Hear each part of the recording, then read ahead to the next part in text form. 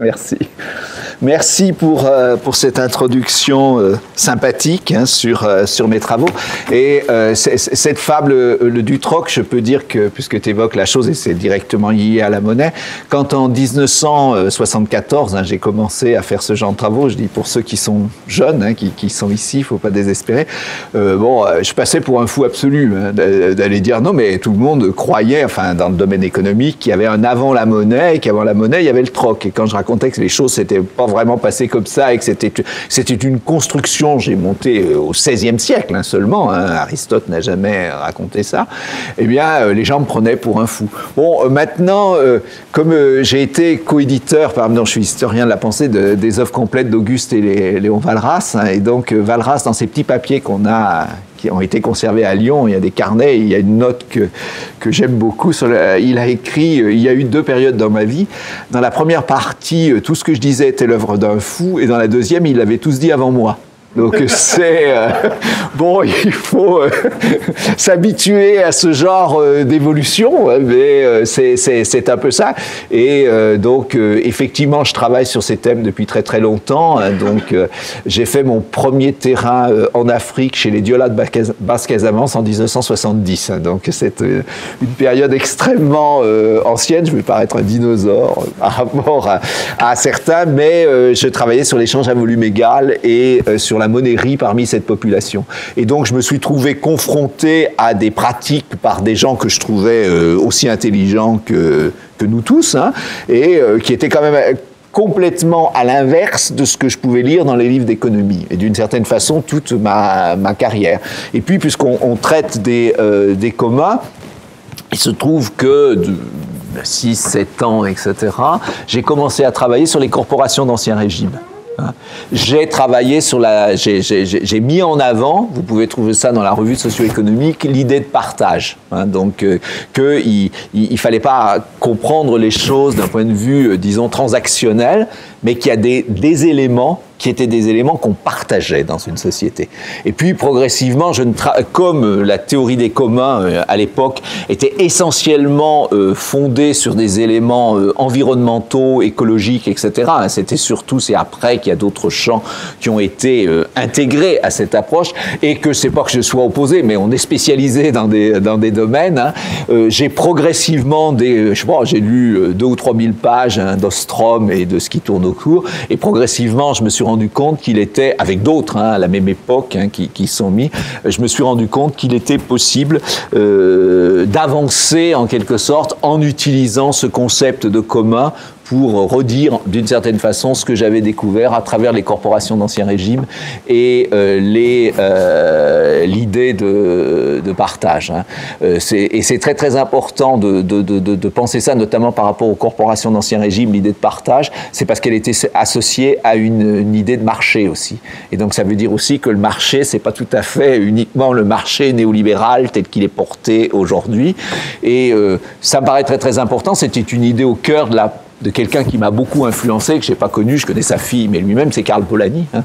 Donc, de, de, de, de, penser, parce que ça nous amène à redéfinir euh, la notion de démocratie et de la rendre compatible. Et je suis évidemment d'une génération hein, euh, où il y avait une opposition État-marché. Et donc, euh, Karl Polanyi nous a aidé à penser, et les communs l'invoquent aussi, l'idée de société civile, c'est d'avoir un, trépied en quelque sorte sur son appoi, puisque le, drame du XXe euh, siècle, à mon sens, hein, c'est euh, le drame d'une opposition est à marché. Et euh, malheureusement, si vous entendez des débats récents politiques, etc., on n'en est pas tellement sorti.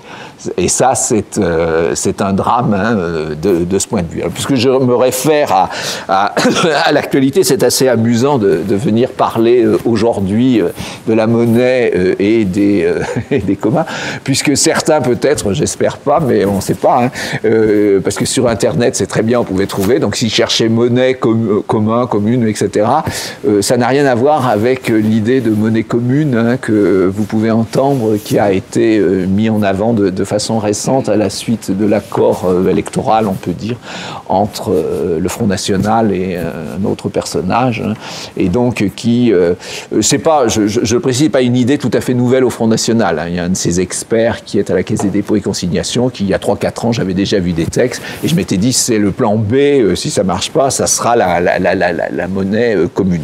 Alors peut-être que je peux d'ailleurs dire un certain nombre euh, de, choses qui, qui, séparent en quelque sorte une approche de la, de la monnaie commune telle qu'elle est définie par certains économistes, de la monnaie comme bien commun. Ça peut être intéressant de, de se, se, se, se, fixer.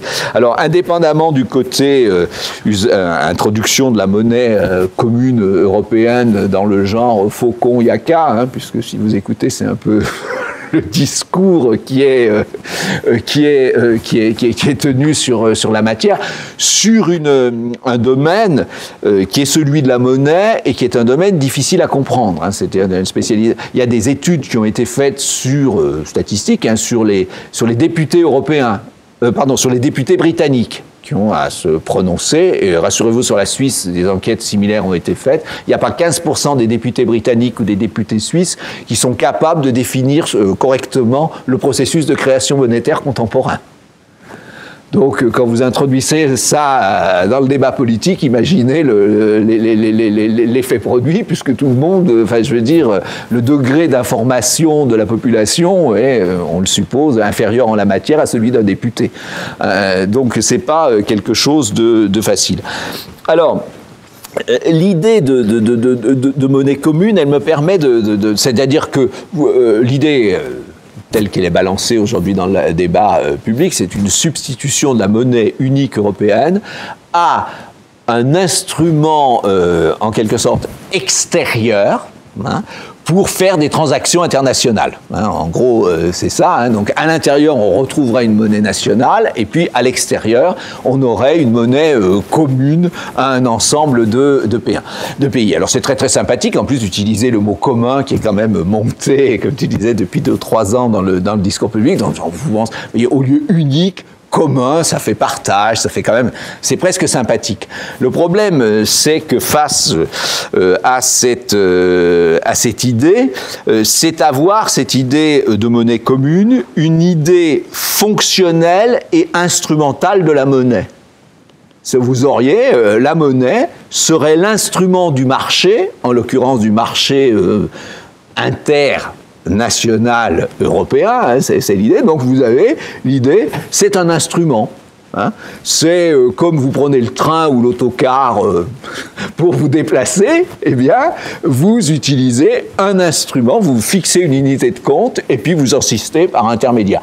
Et donc, euh, cet instrument n'aurait pas finalement de dimension politique, on suppose. Hein, ça serait euh, euh, comme un thermomètre pour prendre de la température, en quelque sorte. Hein, euh, voilà. Donc vous, vous auriez la, monnaie est pensée à travers cette proposition comme un instrument. Hein. elle est pensée d'une façon essentialiste aussi, comme un instrument d'intermédiation des échanges. C'est un peu ça. Et en l'occurrence, les échanges étant surtout pensés, dans le, discours que j'ai entendu, comme étant, comment dire, euh, des échanges marchands. Hein, c'est cette, euh, j'en dirai pas plus. Donc, vous voyez, la, représentation, c'est, euh, oui, je, une vision fonctionnelle de la monnaie, hein, qui est, bon, alors, on ne se pose pas d'ailleurs la question, euh, même quand on a une approche fonctionnelle, il y a problème de la fonction de réserve de, que peut avoir des instruments monétaires et qui est là qui risquerait de devenir un peu compliqué. Mais on est dans la fonction, l'instrument, etc. Et euh, cette, euh, cette vision essentialiste hein, de, de, la monnaie s'oppose à ce qu'on peut qualifier, on peut le revendiquer, comme une vision constructiviste de la monnaie. Là, euh, et là, quand on pense la monnaie comme étant un élément euh, de commun parmi d'autres communs, on a une vision qu'on construit collectivement une institution. Hein. C'est pas qu'on prend un intermédiaire au milieu des multiples marchandises auxquelles on, assume des, des, fonctions, c'est qu'on pense qu'il y a un instrument essentiel, euh, alors là pour le coup, hein, dans la société, qui permet aux rapports sociaux de fonctionner et pas seulement aux rapports euh, d'échange. C'est-à-dire qu'on le, euh, le, le, le c'est une la monnaie en tant que commun Et la monnaie doit toujours, pour bien avoir fonctionné, une dimension de commun, fut-elle réduite, hein, mais là, là, là, là, là, là, là, toujours, il suffit de la reconnaître pour pouvoir la développer, c'est le, sens, c'est une, une institution ordonnant les rapports sociaux dans une société, dans une communauté, qui peut avoir, ceux qui travaillent sur les monnaies complémentaires locales le savent, hein, euh, eh bien, euh, cette communauté pouvant avoir des dimensions différentes. Donc ça, c'est un élément euh, important à avoir dans, la tête. Il va y avoir une communauté, comme pour tout commun, qui est en quelque sorte, qui a en charge la gestion de cet élément essentiel au groupe qui est la monnaie. Et donc il y a des liens aussi avec la finance. Alors, le, euh, euh, cette, alors, s'il y a, y a quelque chose d'intéressant peut-être euh, à, dire, quand j'ai dit la monnaie est une, institution, vous savez, un des termes, le terme grec pour dire pièce de monnaie, c'est nomisma, au pluriel nomismata. Et la, racine du euh, mot nomisma, c'est nomos. Et nomos en grec, c'est la règle. C'est l'ordre donné à quelque chose. Ça a donné en français numismatique. Hein, donc la, monnaie, fondamentalement, euh, pour les Grecs, la pièce de, monnaie, ça veut dire qu'il n'y avait pas d'autres euh, instruments, mais euh, c'est toujours intéressant de regarder l'étymologie, enfin quelque sorte, de, quelque chose qu'on trouve dans une société, comment les, les populations l'ont désigné. Eh bien, c'est nomos, c'est l'ordre en conclusion de mon intervention, je me suis dit, tiens, je, ferai un parallèle. Je, vous, je vous, euh, nous, monnaie, c'est moneta, et je vous dirai ce que veut dire moneta, euh, qui est le latin, hein, puisqu'on a souvent dans les langues euh, indo-européennes contemporaines, pour des termes scientifiques, on a le latin ou le grec, hein, qui, bon, on n'a plus le celte, hein, puisque comme vous le savez sans doute, il n'y a dans la langue française que huit mots venant du celte. donc, on a été colonisé linguistiquement, donc on a nomisme et euh, euh, pour euh, monnaie et on a Alors je, parlais d'ailleurs, je, peux le dire, pour, l'idée du, groupe d'ailleurs et l'idée du, commun. Dans le texte, parce que peut-être certains vont dire oh là là mais il a dû fumer la moquette, celui-là il n'a pas lu, il a, enfin il y a d'autres produits qui se fument que les moquettes, mais c'est pas possible. Enfin je veux dire, moi, moi j'ai, ils peuvent dire, moi j'ai lu la politique d'Aristote et euh, au paragraphe 1, 1250, il est écrit dans la politique d'Aristote, dans certaines traductions, avant la monnaie, il y avait le troc. Le problème, c'est que si vous lisez le grec, ça se perd peut-être que ça reviendra, mais ça, se perd beaucoup. Mais euh, dans le texte grec, si vous regardez euh, le mot qui est employé par Aristote pour dire avant la monnaie, alors Aristote, euh, comme vous le savez, vivait 3 à 400 ans avant l'apparition des pièces en Grèce antique, donc ce n'est pas un témoignage, hein, de toute façon, hein, c'est une interprétation qui, donne. Eh bien, dans le texte grec, il, est écrit qu'avant la nomismata, les pièces, nuance, euh, il y avait métadosis, qui a été traduit par échange, troc, etc. Et ce qui est intéressant par rapport à ce que euh, dosis, euh, en grec, hein, la racine dosis, ça veut dire donner. Et certains ont traduit métadosis comme le grand partage. Et donc c'est intéressant de se dire, oui, c'est pour Aristote, avant la monnaie, il y avait une institution de partage de dons. Euh, euh, les Grecs avaient, métadosis, c'est d'une des 32 façons de dire donner en grec. Vous voyez, on a quand même changé de société parce que nous, on n'a pas 32 mots pour dire donner. Hein. c'est toujours, c'est comme un peu les Esquimaux, je crois qu'ils ont 15 ou 20 termes pour dire blanc. Hein. Donc euh, voilà, selon les, euh, euh, les, les, endroits, je ne sais pas si du côté de Grenoble, du temps où on parlait encore le franco-provençal dans les montagnes, il y avait plusieurs mots pour dire blanc, mais c'est pas impossible hein, dans les zones de neige, etc., pour, ou pour dire neige. Hein. Donc ça, c'est intéressant, les Grecs. Et donc, ça renvoie à cette idée de, de partage. Le partage renvoyant évidemment à des éléments du commun. Donc je veux dire, vous lisez Aristote, et si vous regardez une bonne traduction, aujourd'hui, euh, dans les traductions, on dit avant, parce que avant la monnaie, il y avait l'échange. Il est très rare que ce soit écrit le grand partage ou le, don, etc. Mais ça change quand même pas. avant la monnaie, il y avait le troc, hein, qui donne une image marchande, en quelque sorte, de cette, euh, de cette euh, relation. Alors, euh, ceci étant dit en quelque sorte en, introduction, un des, dimensions fondamentales de, de la monnaie, c'est quoi? C'est d'être une liquidité. il y a l'aspect compte, Hein.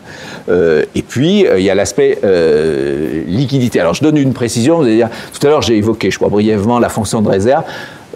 Je pense, comme Aristote et Marx, contrairement à la plupart des, économistes, que la monnaie une, ne doit pas être définie par sa fonction de réserve parce qu'il y a tout un tas d'autres instruments qui remplissent mieux la fonction de réserve que la monnaie dans de nombreuses circonstances. Hein. et c'est très exactement, souvent là encore on cite Aristote, euh, la, monnaie a chez Aristote une fonction de, réserve pour la bonne et simple raison qu'elle est constituée de métal précieux. Et en fait, ce qui a la fonction de réserve, c'est le métal précieux. C'est pas la monnaie elle-même en tant qu'instrument euh, frappé. c'est un détail, mais c'est pour expliquer pourquoi je vais parler du compte et que je vais parler de la, de la liquidité qui est, qui est liée au paiement. Alors, dans une société, pour qu'elle fonctionne bien, et la crise de 2008 a montré à quel point ça pouvait mal fonctionner de ce point de vue, hein, eh bien, il y a un élément de la monnaie essentiel qui est comme l'air finalement, c'est la liquidité. Si vous n'avez pas la liquidité dans une société, elle fonctionne mal. Donc ça, c'est comme l'air pur, hein, pour, vous dire. Donc, euh, vous voyez le, lien qu'il peut y avoir avec euh, la commun. Produire de la monnaie dans une société comme commun, c'est injecter de la liquidité dans cette société. Alors évidemment, les règles de fonctionnement doivent faire qu'il doit y en avoir pas trop, et puis qu'il ne doit pas manquer non plus. Hein, ça, donc c'est là où on va retrouver le commun. Comment on gère cette question de l'injection du bon niveau de liquidité dans une société? Hein, donc ça, c'est un... Euh, je ne suis pas très original, hein, si pour certains sont économistes ici, euh, eh bien, euh, Keynes définit la monnaie aussi par cette fonction de, liquidité. Mais c'est quelque chose qui est, qui est en quelque sorte bien, bien souvent oublié. Alors, il y a un autre aspect, je le dis. Donc, le premier aspect essentiel de la monnaie comme commun dans une société, c'est la liquidité et le contrôle de cette circulation de liquidité.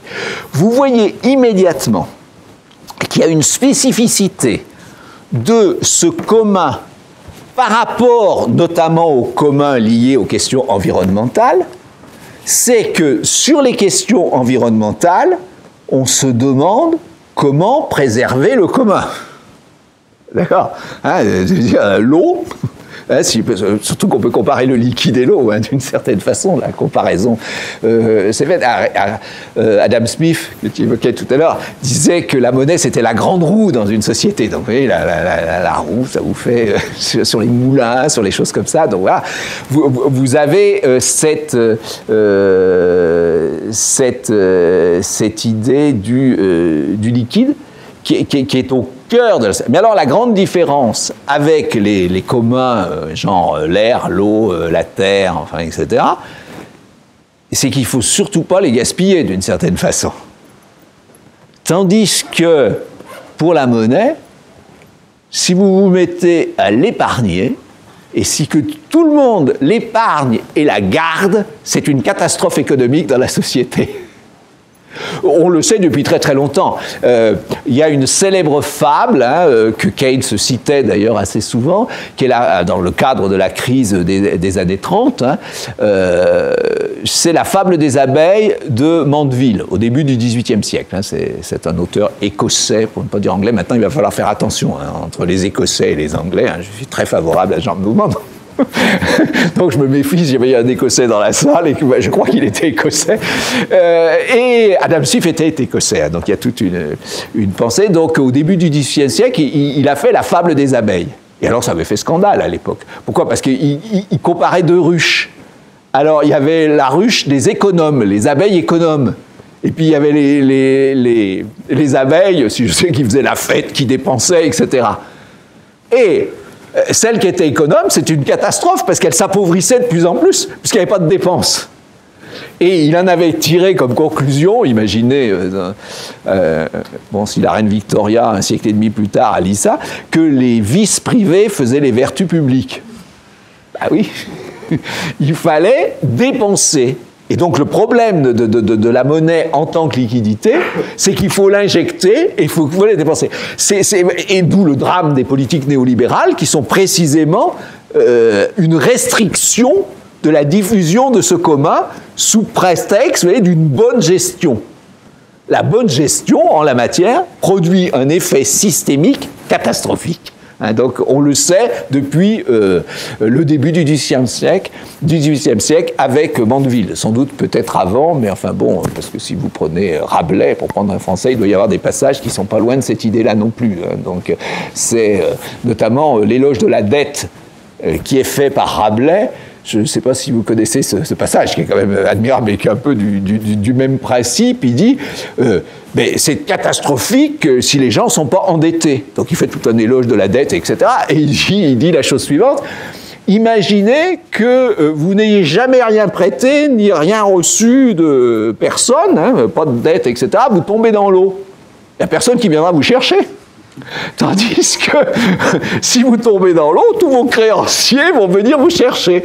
Et puis si vous avez été généreux avec les gens, etc., ben ceux avec qui vous avez été généreux, normalement, ils vont plonger aussi pour vous sortir de l'eau. Donc vous voyez, c'est un peu cette, euh, cette idée qu'on peut trouver de la nécessité, de la dépense, de la dette, etc. Donc je pense que, euh, j'ai pas en tête, mais je pense qu'il y a des... Dans le bien vivre qui était euh, développé déjà dans l'Antiquité, hein, il devait y avoir déjà cette, idée-là, mais il y avait aussi déjà euh, l'idée de tu dépenses pas, c'est parfait, etc., avec tous les effets euh, catastrophiques. Donc, c'est très très important, si on pense la, la, monnaie dans cette dimension de liquidité, de, de penser qu'il faut qu'elle soit produite et diffusée. C'est ça sa dimension de commun. Mais évidemment, il ne faut pas qu'elle soit gaspillée non plus. Hein, donc il faut qu'elle soit injecté à bon escient, et c'est là où on va trouver les règles du commun, puisqu'il faut trouver une gestion par les parties prenantes, hein, je, vais, je vais y revenir, de cette injection monétaire dans la société. Il faut quand même prévoir que les endettés remboursent leurs dettes à un moment donné. Si tous les endettés ne remboursent pas, c'est tout aussi une catastrophe. Donc on a la gestion de cette injection de liquidité pour permettre la reproduction de cette ressource. Mais la reproduction de cette ressource, à la différence d'autres ressources physiques, se font par la, diffusion. On aurait la même chose sur les biens culturels. Si vous produisez des films que personne ne regarde, il y a aussi un effet que, bon, je veux dire, c'est, aussi un effet tout aussi négatif. Hein. Donc il y a, y a cette, cette dimension-là. Alors, euh, je, dirais aussi, euh, il y a, euh, je le dis immédiatement, dans, le, il y a une dimension de la monnaie comme unité de compte, hein, qui, qui, qui, va ça. Et si je vais au-delà de l'unité de compte pour pas être dans une approche fonctionnelle, cette unité de compte, c'est un élément emblématique dans la société. Le groupe va s'identifier à cette monnaie. Et quand on voit, je sais à Grenoble, j'imagine, pour la, monnaie complémentaire hein, qui a pris le, je me souviens, Kern, hein, c'est ça. Hein. Ben, je veux dire, il y a eu une réflexion sur une identification à cet objet. C'est un commun, euh, parce que les gens font de la montagne, en etc. Et je dirais, j'ai été il y a dans une vie antérieure, enfin, je le suis à nouveau où j'habite, mais euh, membre du système d'échange local de, de Villeurbanne. donc, euh, j'habitais à, à à l'est, comme vous savez, c'est à l'est de Lyon. Et donc, vers 97, 98, 97, on a mis en place euh, une monnaie locale. il y a quelque chose de très... Alors, il y a eu là, comment l'appeler? Comment appeler le groupe que vous désignez? Alors là, on, voit l'esprit collectif qui, s'est mis en œuvre. Hein. D'une part, ça a été un peu comme durant la Révolution, vous prenez des termes géographiques, parfois humoristiques, par rapport au lieu. Hein. Donc euh, là, euh, j'ai un trou de mémoire, mais j'arrive plus à retrouver le nom de l'unité euh, elle-même. C'est le nom d'une rivière qui est devenue un égout. Hein. Donc, je veux dire, il n'y a plus cette. Euh, la Rise, oui, c'est ça. La, la, Rise, d'ailleurs, quand ils ont fait le métro à Lyon, ils avaient oublié, hein, les architectes, qu'il y avait autrefois une rivière qui se jetait dans le Rhône. Alors, ça a retardé pendant quatre mois les travaux de construction du métro, parce qu'ils auraient pu réfléchir, parce que sous terre, avec les égouts, il y avait des quantités d'eau. Et si vous vous promenez à Villeurbanne, vous pouvez entendre l'eau passer. Donc, il y avait une ambiance d'identification. La rivière que personne ne pouvait plus voir, à, je crois qu'ils l'ont rouverte à certains endroits, d'ailleurs, du coup, mais c'était la Rise. Donc, vous voyez, une identification comme on appelle l'Isère, hein, ici, ou le Rhône, ou bon, la Loire, hein, pour prendre des noms. Donc il y avait un peu ce parallèle révolutionnaire. Mais il y a quelque chose de plus intéressant, c'est le groupe lui-même. Comment appeler le groupe qui allait gérer cette monnaie? Et c'est là où on voit le collectif apparaître, et le collectif qui n'est pas replié sur lui-même. On vit avec les discours qu'on entend sur des collectifs identitaires repliés. Vous voyez non, vous pouvez avoir une identité, mais qui est ouverte aux autres. Et, là, on le voit très bien dans, le, dans ce qui est aujourd'hui le gratte-ciel. Alors pourquoi le gratte-ciel? C'est emblématique du lieu parce que c'est un des premiers lieux où on a construit un gratte-ciel en France hein, Villeurbanne, hein, donc euh, dans les années 30. Hein, donc, euh, donc c'est emblématique la mairie avec euh, de gratte-ciel. Bon, il faut 25 étages, mais enfin il y a eu des astuces techniques pour vous donner l'impression que c'est plus grand. Hein. donc, notamment il y a une astuce technique qui consiste aussi pour que l'avenue paraisse plus grande. Elle est numérotée. Vous voyez, elle passe de 15 à 19, par exemple, les, numéros. Il y en en saute un, donc ça vous paraît déjà plus grand, parce que sinon ça va faire rikiki. Donc gratte-ciel, mais il y avait eu une suggestion qui n'a pas été retenue et qui était assez. Quelqu'un voulait appeler ça comme on, il y avait le sel de la Croix-Rousse, hein, l'autre, euh, bon, celle de la Croix-Rousse. Alors nous, on était plus à l'est.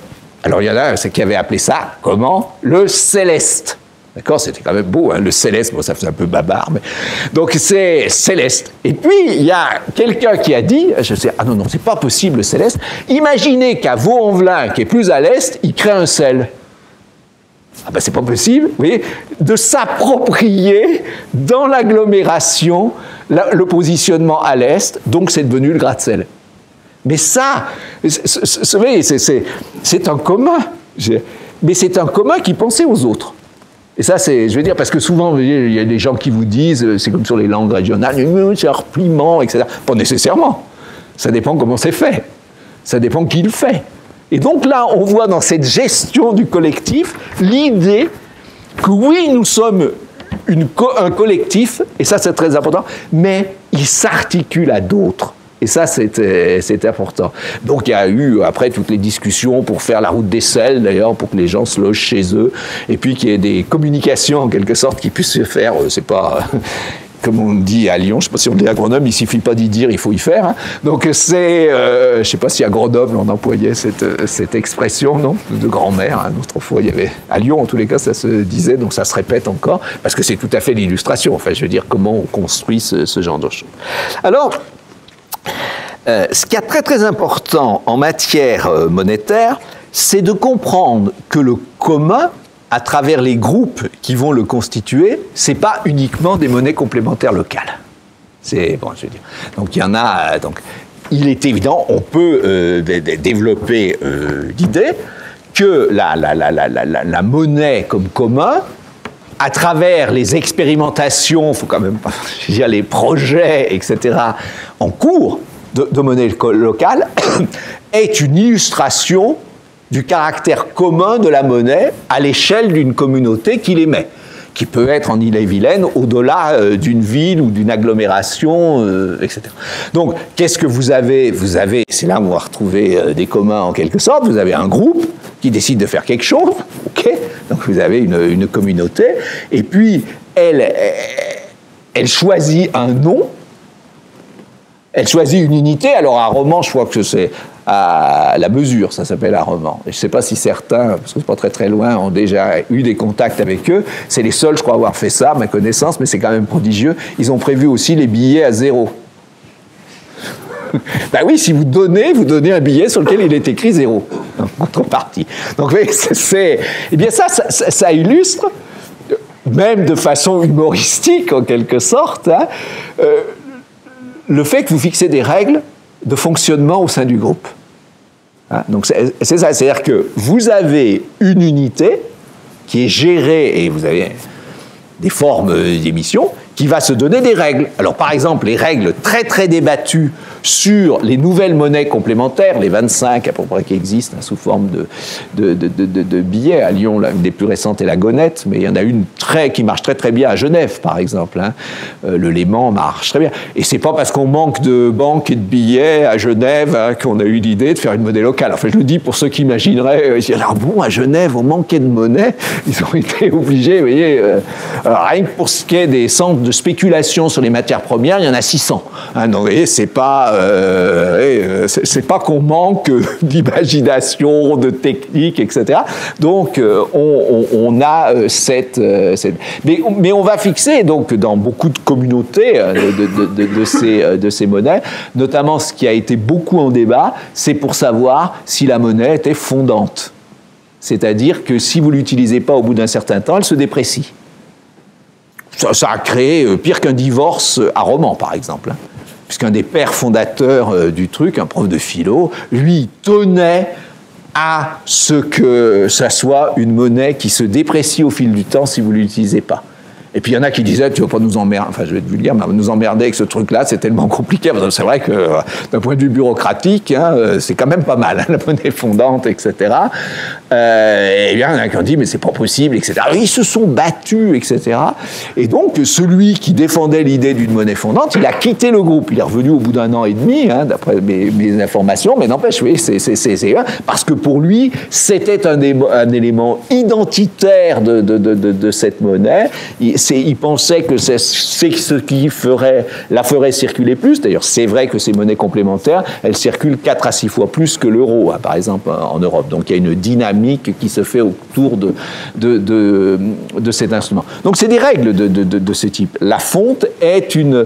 Euh, euh, le, le, problème aussi, si vous allez dans les commerces pour savoir si vous avez une réduction ou pas en utilisant cette monnaie. C'est une règle de fonctionnement. Et puis, euh, c'est impensable en France. Euh, j'ai été invité par les gens qui ont fait la monnaie euh, au Luxembourg. déjà, le Luxembourg, c'est un peu comme Genève, et c'est assez amusant de, voir. Alors, faites une conférence, hein, invité par la monnaie locale et puis Etika, qui est un groupe de, de réflexion éthique sur la finance, donc il m'invite. Et puis, dans la salle, il y avait la principale propriétaire de supermarché du Luxembourg, qui a, euh, euh, un centre de commerce, je ne sais pas comment ça s'appelle, là où vous avez Carrefour plus euh, d'autres commerces, etc. un centre commercial. Ben, la principale propriétaire actionnaire du principal centre commercial était là à la conférence. Elle posait des questions intéressantes, etc. Et donc le centre commercial et genre équivalent euh, où il y a un carrefour au champ, etc., était partie prenante de la monnaie locale. Et elle organisait même une tombola tous les euh, je crois, 4 mois, etc., pour que les gens gagnent des lots en monnaie locale. Imaginez dans la plupart des monnaies locales en France qu'on fasse cette euh, suggestion. Et puis j'avais demandé, j'avais dit, mais pourquoi là sur vos billets, là il m'a montré un billet, mais pourquoi il y a une, une tâche, enfin il y a un espace blanc où il n'y a rien d'écrit? Je vous laisse deviner, c'est pour pouvoir mettre éventuellement la publicité. Donc, c'est là où on voit, évidemment, que les monnaies locales sont immergées dans une culture qui n'est pas la même au Royaume-Uni, en France, en Suisse, ou enfin je, peux euh, il y a une culture de l'argent du, rapport le rapport à l'argent n'est pas le même à Genève qui n'est à Grenoble, à, Lyon, même si, à mon sens, on a des traits culturels qu'on appelle protestantisme à Genève, mais enfin l'idée du travail là, il est le même à Grenoble, à Lyon, Saint-Étienne, etc. Et à Turin, hein, la mentalité, c'est pas du calvinisme, hein, c'est des gens qui viennent de la montagne pour une partie, et pour choisir ensuite, ça, ça donne ce truc-là. Mais il y a un rapport de l'argent qui est quand même euh, différent, en quelque sorte. Hein. J'ai siégé à Genève dans le principal... Il m'avait prêté une action, donc en même temps, j'étais à la Croix-Rouge, donc ça me permettait de blanchir. Mais le, deuxième fonds euh, au monde de placement en microcrédit qui est à Genève, Symbiotics, m'avait prêté une action pour être membre du conseil d'administration. Donc, euh, mais ça prouve une ouverture aussi de leur part. Vous voyez, faire venir quelqu'un qui est extrêmement critique par rapport à un certain nombre de choses, euh, par rapport à la finance, le mettre dans le conseil d'administration, c'est aussi, peut-être que c'est une preuve d'ouverture de ma part d'accepter de siéger, mais de leur part aussi, ça indique un rapport différent à l'argent dans cette, euh, dans cette société, dans toute cette Eh bien, les groupes locaux de, de, de, de gestion qui fixent l'horaire. Alors, une caractéristique par rapport au commun que vous connaissez sans doute par rapport aux monnaies locales ou vous vivez pour un certain nombre, c'est la technique des parties prenantes. J'ai déjà employé euh, l'expression. C'est-à-dire que quand le système est développé, vous avez des collèges différents. C'est la nouvelle forme de démocratie. C'est-à-dire que pour moi, ce machin où il y a 50% plus une voix, alors des fois ça fait même moins compte tenu des règles électorales, voir ce qui s'est passé aux États-Unis, mais enfin peu importe. Mais enfin c'est ça, cette idée, vous voyez, la démocratie, il y en a 50 qui votent, qui acceptent, et puis alors les autres, 49 hein, et 1,9, et ils doivent se soumettre. C'est peut-être pas euh, la façon la plus efficace, à mon sens, aujourd'hui, de faire fonctionner une société. Ça a été un combat important au 19e siècle, hein, je vous l'accorde, mais euh, peut-être qu'aujourd'hui, il faut dépasser ce, cette chose-là. Hein, et donc, justement, les monnaies locales sont un trop, prototype, en quelque sorte, d'une nouvelle forme de gestion, puisque vous allez avoir le collège des utilisateurs, le collège des commerçants, un prestataire de services, etc., le collège des, éventuellement des institutions politiques qui, s'occupent de ça, le collège institutions euh, euh, politiques qui soutiennent, etc. Vous avez différents collèges, hein, si, vous, si, vous, regardez cette gestion de nouvelle monnaie, et c'est tout à fait la gestion d'un commun. Hein. Donc, il faut qu'il y ait, au sein de chaque groupe, hein, vous, connaissez le truc, hein, par consensus. donc, euh, vous voyez, on ne fait pas un vote. Chaque collège doit, par discussion, euh, passer, euh, disons, à un consensus. Et après, entre les collèges, il doit y avoir un, consensus. Bon, certains me diront, j'ai bien connu ça dans la première partie de ma carrière, parce que j'étais plus africaniste à une certaine époque, c'est l'arbre à palabres. Hein la démocratie africaine fonctionne, aussi par cette idée qu'il faut représenter. Alors bon, c'est comme la, démocratie dans la Grèce antique, hein, l'arbre à palabre. Hein, donc, euh, et en Grèce antique, il y avait les bieux, quoi, en gros, euh, qui siégeaient euh, pour, pour représenter la cité. Mais enfin, c'est mieux que rien. Hein, donc il y a une, indépendamment de, de, leur fortune personnelle. Donc ça, c'est fondamental à un niveau local vous avez la gestion d'un commun monétaire qui s'est mis en place et qui est un prototype. Mais on ne doit pas en rester là. La monnaie est aussi à un niveau global. Et euh, l'idée d'ailleurs, il s'agit de monnaie complémentaire par rapport à d'autres monnaies. Et donc il y a aujourd'hui, elles ne datent pas d'aujourd'hui, mais elles sont en train de ressortir, des propositions qui sont faites pour transformer la monnaie nationale ou fédérale en un système géré comme un commun. Cette proposition, euh, elle est euh, ça s'appelle la monnaie pleine ou la monnaie gagée. Euh, ce qui est très intéressant, c'est qu'il va y avoir, soit à la fin de cette année, soit au début de l'année prochaine, une votation, c'est comme ça qu'on dit en Suisse, sur la monnaie pleine. Il y a eu 100 000 euh, signatures réunies en Suisse, hein, dans les différents cantons, parce qu'il y a des règles qui sont fixées en Suisse, et donc les Suisses ont voté pour la mise en place de ce qu'on appelle la monnaie pleine. Si euh, vous voulez chercher par Internet pour avoir plus d'informations que je vous en donnerai là, vous cherchez Positive Monnaie. C'est le groupe le plus dynamique au Royaume-Uni. Et puis l'autre, heureusement les textes sont en anglais parce que c'est en Islande. Hein, que vous avez une commission parlementaire hein, qui est assez proche du système britannique, qui s'est mis, en place, qui a fait un énorme rapport en anglais, hein, donc vous pouvez lire, enfin, sur la proposition de monnaie pleine ou, ou, gagée. C'est intéressant, c'est que les trois pays où c'est le plus en avant sont les pays, d'une certaine façon, les plus financiarisés de la planète. Ou, comme l'Islande, qui sont pris une claque en 2008 absolument monumentale. Hein. Et puis en Suisse, c'est un des hauts lieux, je vous l'ai dit, de, la finance, vous le savez tous, mais en même temps, il y a des principes éthiques, enfin, etc., qui, sont présents. Il y a un mouvement de la société civile qui est extrêmement important, hein, euh, basé parfois en lien avec des mouvements chrétiens, pour, euh, euh, sens large. Donc ça, c'est très très important et ça ne me paraît pas un hasard que ce soit les trois pays les, les, les, les, plus en pointe. Alors, ce système de, de, de, de monnaie pleine, c'est quoi Et pourquoi on va se trouver face à un commun?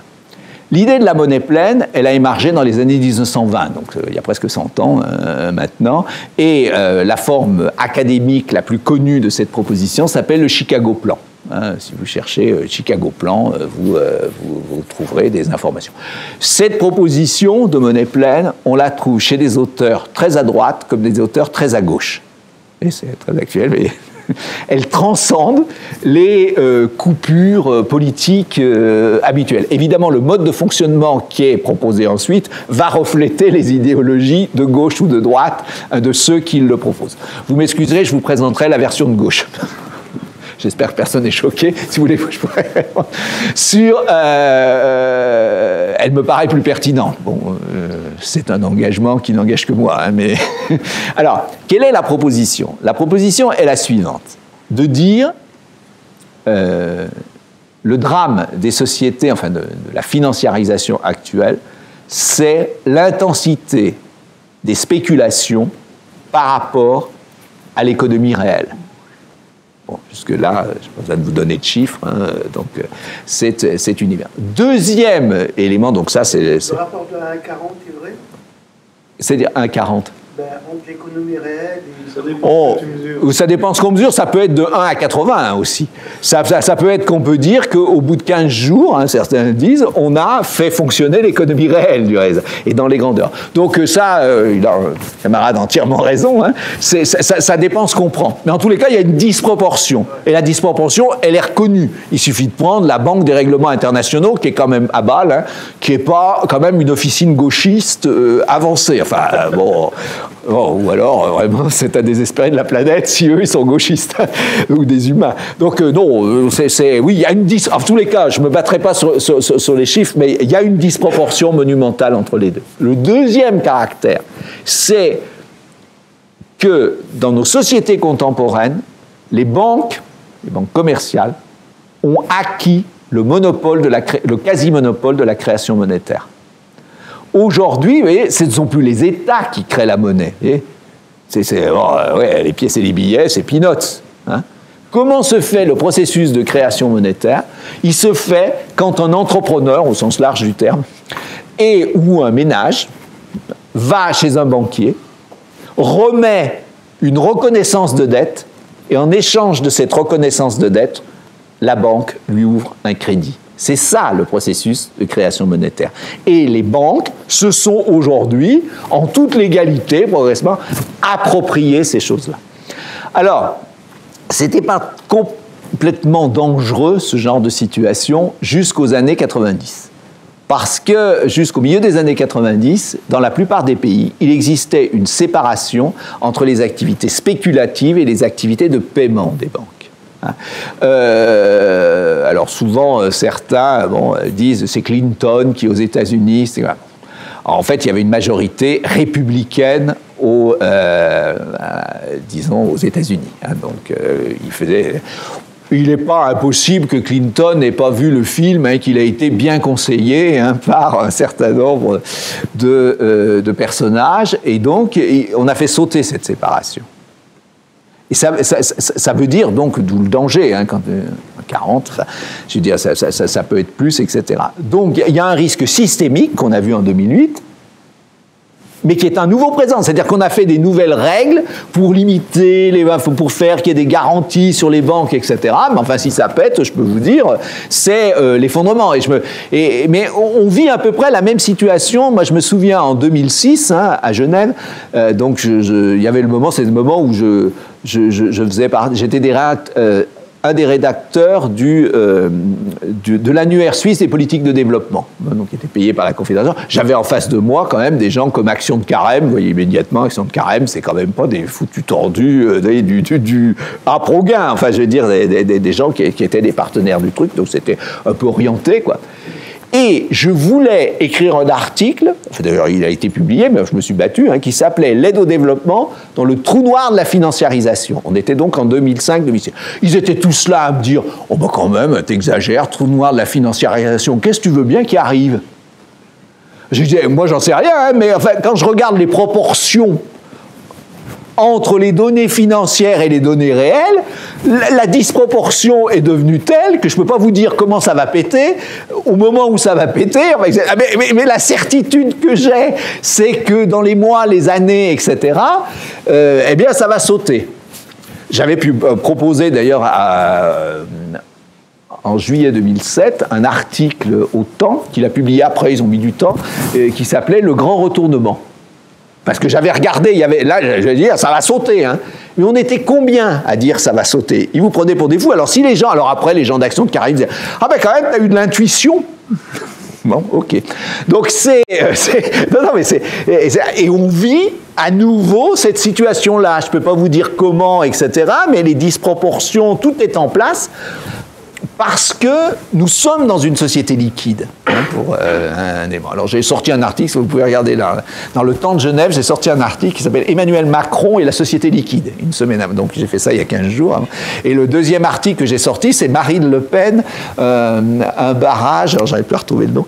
Euh, inefficace, quoi, enfin, disons, illusoire. Hein, donc, face, mais nous vivons dans une société liquide. Nous sommes au cœur d'une société liquide et ça produit les phénomènes que Ce qui fait d'ailleurs qu'à mon sens, quand les gens me demandent mais comment faire pour sortir du capitalisme? Ah, Ma réponse c'est c'est pas un problème, on en est déjà sorti. Parce que si vous considérez le capitalisme comme étant un phénomène d'exploitation salariale, eh bien on en est loin. Hein. Parce que c'est dans la gestion des risques euh, aujourd'hui, dans les phénomènes assurantiels, etc., que se fait qui est essentiel à la mutualisation des activités humaines, mais c'est cela que se fait le drainage de ressources et la ponction d'un commun monétaire et donc l'exploitation du système. C'est une idée que Proudhon avait, hein, d'ailleurs. Mais euh, quand, vous lisez Proudhon, il est illisible, hein, euh, donc évidemment plus personne ne le lit. Enfin, je veux dire, il faut vraiment avoir du courage hein, pour se plonger dans Pierre-Joseph Proudhon. Mais il a cette idée que l'exploitation se fait à travers la captation de la mutualisation des activités. Et c'est très précisément ce que, ce que, ce ce que nous vivons. Donc cette monnaie comme commun, hein, on se situe dans une situation où vous avez une appropriation du commun monétaire par les banques commerciales et par les groupes spéculatifs. pour vous dire ce que c'est que la spéculation par rapport à la monnaie et la finance, à Genève, je vous ai dit, il y a 600 officines qui s'occupent de ça. Enfin, il y en a 400 qui font que ça, plus 200 qui font pas que ça. Mais enfin, ça fait 600, vous voyez. Un boisseau, le titre d'un boisseau de blé à Genève, à un moment où je pense on sème, voire même avant, et puis après, il y a la livraison, et donc on émet un titre. Hein. Y a un boisseau de blé fait l'objet à Genève, comme à Chicago, hein, parce que les deux capitales de genre de choses, pour euh, ces produits, 2000 euh, transactions. C'est les mêmes qui, dans la même journée, achètent et vendent. Ça veut dire que vous, quand vous achetez votre pain, vous financez ce genre de choses. Hein, Puisqu'il y a couverture du risque. Donc, le liquide, de ce point de vue, nous a envahis. Et donc, euh, tout est liquéfié, hein, euh, si j'ose dire, et ça permet la captation. Alors, la proposition des, euh, groupes de monnaie pleine, positive monnaie, etc., c'est de dire il existe deux types de structures monétaires bancaires. Il y a celle qui gère les transactions. Tu déposes un euro, tu as un euro à la fin, il est garanti à 100%, mais ça ne sert qu'à couvrir des transactions. Et puis il y a d'autres établissements qui sont spécialisés dans les placements à risque, euh, tout ce que vous voulez, qui font le crédit. Et quand vous déposez dans ces types d'établissements, c'est le risque 100%. Vous choisissez, je pense que 90% des gens choisiraient uniquement les activités de paiement. Et puis les autres, ils peuvent gagner beaucoup, hein, on vit dans un monde tel qu'il est, pouf, eh bien, mais ils prennent le risque. Ce n'est pas les États qui doivent compenser le risque. Hein, euh, tel qu'on l'a vu précisément en 2008. Donc, séparation euh, complète les établissements bancaires, et ça c'était la proposition du Chicago Plan euh, au départ, euh, qui a été pris par un économiste Maurice Allais, hein, par exemple, était un partisan. Milton Friedman, hein, qui est un représentant du néolibéralisme, je vous cite des gens bien. Hein. Donc, euh, c'est celui, ces, Chicago Boys ont soutenu le, coup d'État de Pinochet. Donc, je veux dire, c'est pour vous dire à quel point c'est pas une pensée très très gauchiste dans certains de ses aspects, cette proposition. Eh bien, le, Chicago plan veut dire si un établissement veut prêter, eh bien, il faut qu'il ait les ressources, soit parce qu'il y a des épargnants qui ont déposé, soit parce qu'il y a les épargnants d'autres établissements ou d'autres établissements qui ont déposé et qui font le prêt à cet organisme. Alors, les keynésiens, Jean-François Ponceau n'est pas là aujourd'hui, mais il pousse des cris parce qu'il dit, mais alors, c'est le blocage de la création monétaire et c'est le, blocage de l'activité économique. Hein, la réponse est la suivante. Alors ça, c'est pas euh, chez Milton Friedman ou Maurice Allais. Hein.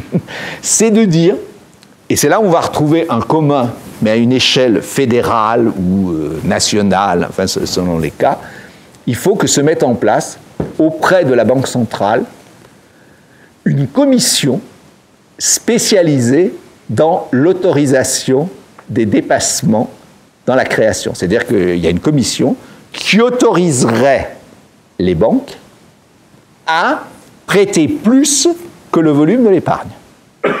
D'accord? Donc, j'évoquais la liquidité comme commun tout à l'heure. On se trouve face à ce, processus. Évidemment, il y aurait pour les orientations la possibilité de financer la transition écologique. Eh oui, c'est-à-dire que si vous faites un investissement qui a traits, qui est lié à la transition écologique, alors oui, on vous autorise, on autorise la banque à ouvrir un crédit pour, pour faire ce genre de choses. L'autre élément aussi, c'est ce qui permettrait de financer une certaine forme de revenu universel.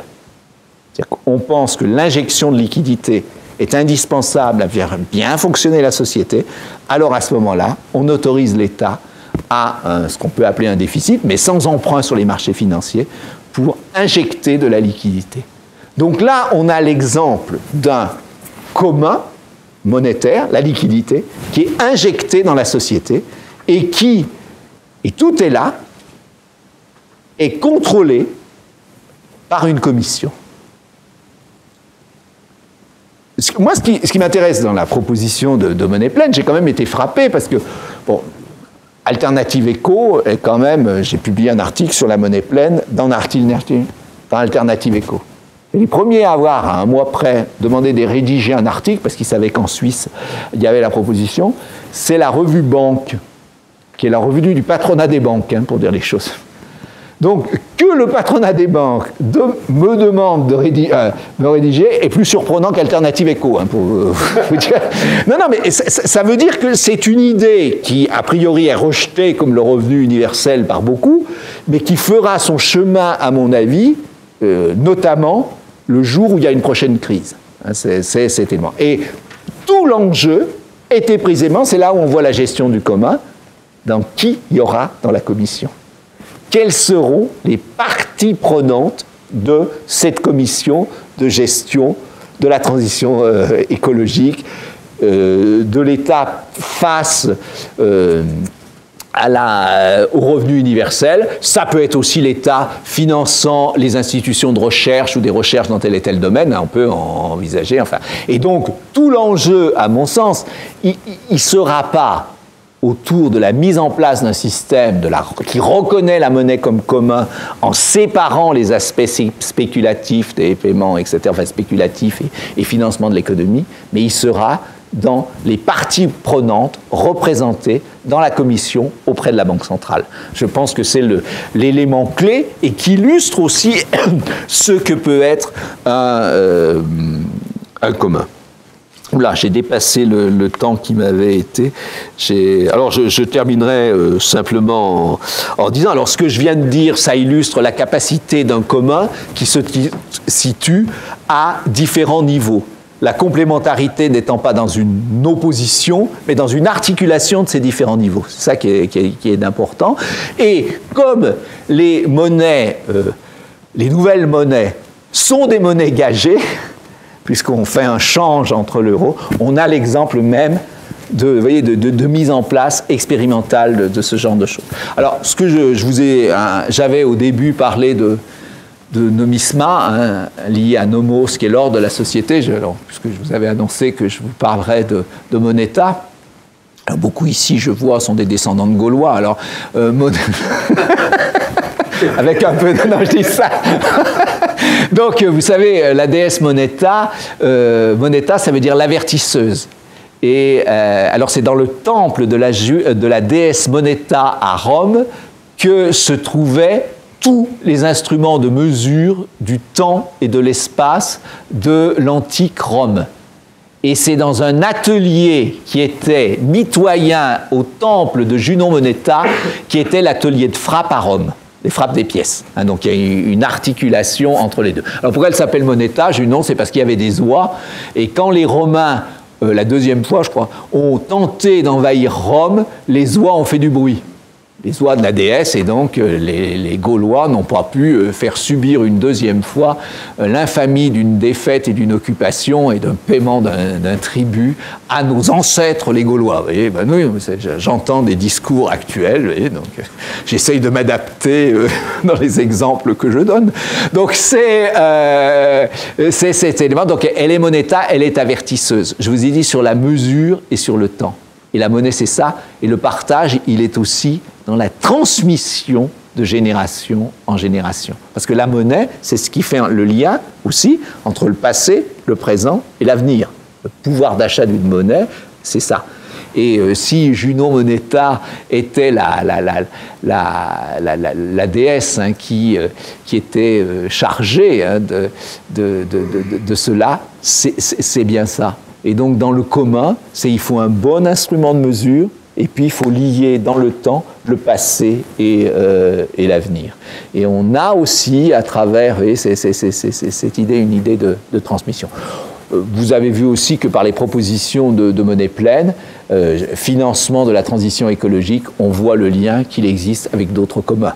Hein, sur, les éléments euh, du, savoir, de, la même façon qu'on doit articuler les différentes hiérarchies d'instruments monétaires, hein, on, doit aussi articuler les différents communs, et je pense que ce que la monnaie euh, fait le lien, en quelque sorte, entre ces différents euh, niveaux.